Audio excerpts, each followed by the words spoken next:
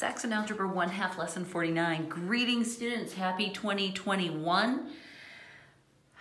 I hope you had a good break and I hope your brain had a really good rest because I'm going to torture it some more.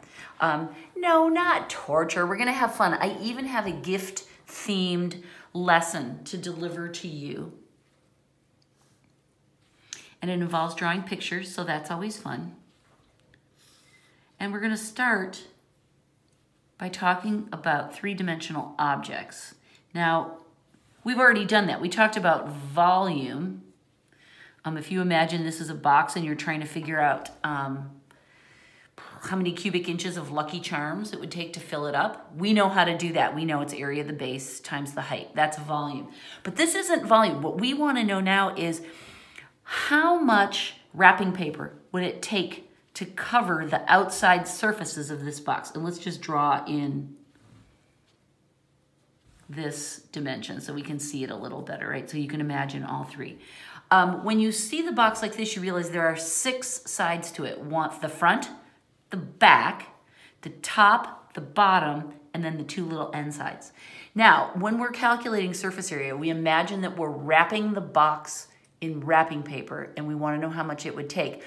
But I also will caveat this by saying it's magic wrapping paper, you guys. So you don't have to do any overlapping and there's no weird folding on the ends.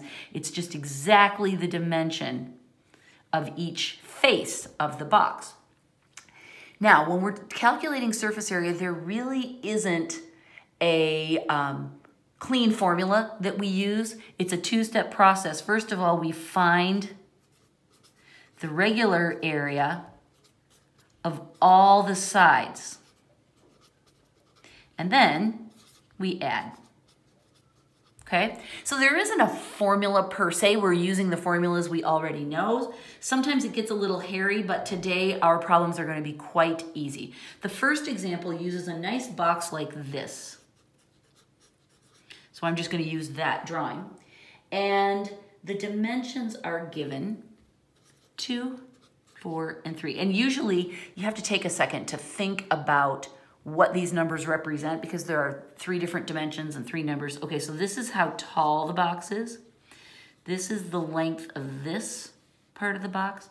And then this is how deep the box is. All right, so the way that we do that is we have to imagine the sides that have matching areas. So I'm gonna start by calculating the area of the front and the back. Okay, so this is the front and this is the back, right? They're the big rectangles. Um, and I know that that is their rectangles, so the area, the formula rather for the area is gonna be length times width. So this first one is gonna be two times four, and that's eight. So eight is the area of the front one. And then we need another one because we're doing the front and the back, right? So one for the front, one for the back. Okay, good. Now let's do the top and the bottom.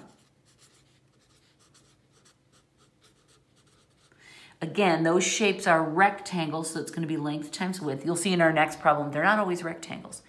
Now we're trying to find the dimensions of this.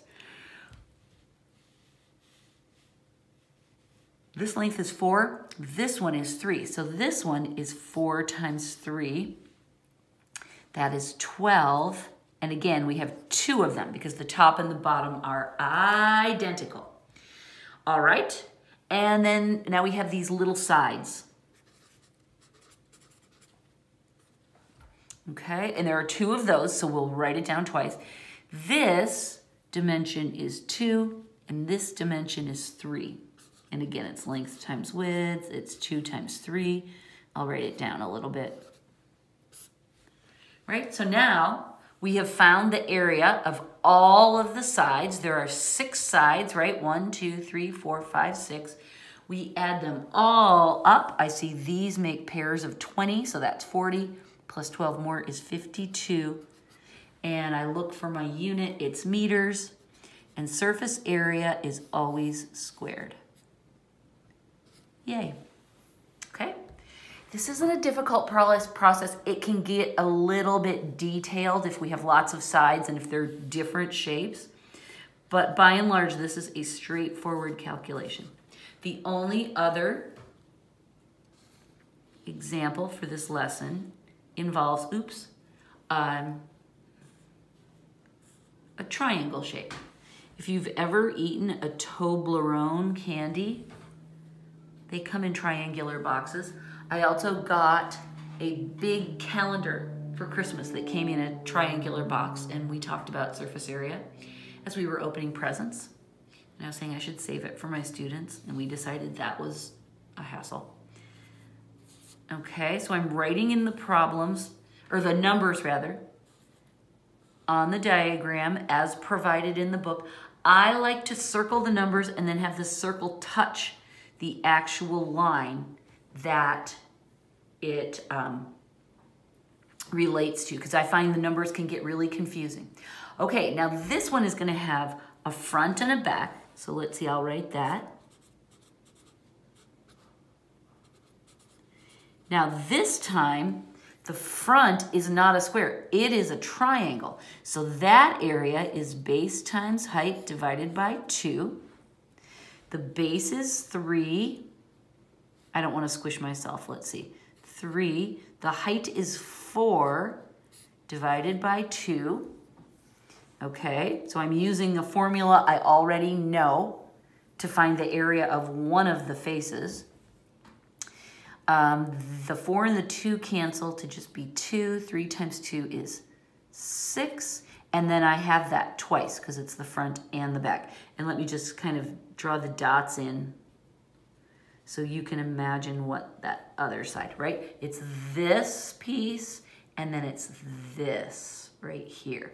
Those are both 6 square units. So now I've done that. Now We've got this back side and the bottom side and then this slopey side. Each of those is gonna be different. So I'm gonna do this back side first. Um, except I've already used the word back to describe that. So I just have to give it a name that makes sense to me. So I'm gonna call that the, um, the height. And that is not a scientific or math word. That's just my way of identifying this particular square. That is a rectangle. It's four by, let's see, this dimension I have to look. It's six. It's a rectangle, so it's length times width. It's four times six, and that is 24. Now I'm gonna do this bottom. Again, that is a rectangle, so it's length times width and that is 3 times 6. That's 18. And then the slopey side, and I'm going to call that the slope. Again, slope is a word, I guess we haven't gotten to it yet. That's a math word, but I don't mean it in any kind of specific way. Um, I could call that the slide if I wanted because it reminds me of a playground slide. Uh, I just have to find the length is 5 and the width is 6.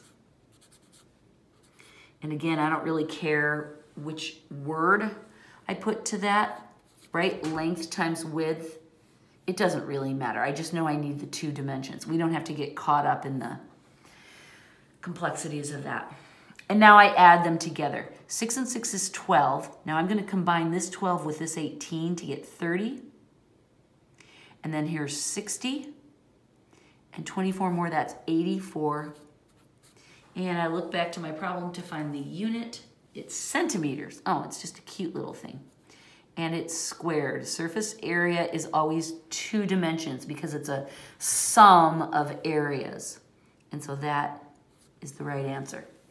Okay, so that's our introduction to surface area.